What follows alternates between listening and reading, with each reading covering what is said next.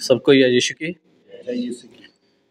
प्रभु यीशु का धन्यवाद कि आज हमें परमेश्वर के वचन में सीखने को मिला और बहुत सारी नई बातें प्रभु के वचन में हमें सीखने को मिली।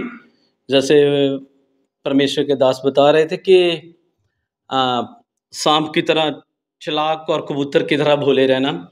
और ये बहुत अच्छी नई बात मुझे सीखने को मिली कि उन्होंने बताया कि जो क्लेवरनेस है चलाकी है वो है सिर्फ़ ज्ञान। और जो भोलापन है कबूतर को बताता है, वो है फल। और कभी हमारे पास भोलापन होता है, लेकिन ज्ञान नहीं होता, फिर भी हमारी सेवकाई नहीं फलती। कभी हमारे पास ज्ञान होता है, लेकिन वो पवित्रता ही नहीं होती, फल नहीं होता तो फिर भी हमारी सेवकाई नहीं बढ़ती। तो इन्होंने वचन में बताया कि हमें चेले कैसे बनना है। तो प्रभु के, जितना हम फल लेके आते हैं तो परमेश्वर के नाम को महिमा मिलती है। तो फिर हम परमेश्वर के चेले तो उसके गवाह बनते हैं।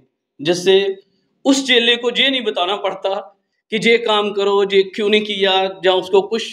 तो वो खुद में खुद उसको परमेश्वर के साथ प्यार होता है, परमेश्वर के स्वरूप में जब बदलता है तो वो खुद सब कुछ करता है। उसे बताने की ज़रूरत नहीं रहती। तो जैसे उन्होंने बताया तो हम क्या देखते हैं कि हमारे चेले जो होते हैं, जो प्रभु के प्रभु के चेले, हमारे नहीं, प्रभु के जो चेले होते हैं उनको बार बार बताना पड़ता है, जी करो, घर से नहीं आए लेट हो गए, क्यों नहीं आए? तो जी मुझे बहुत अच्छा लगा कि जी मेरे लिए है जी मैसेज कि मैं प्रभु के लिए ऐसा करूँ। सबको यश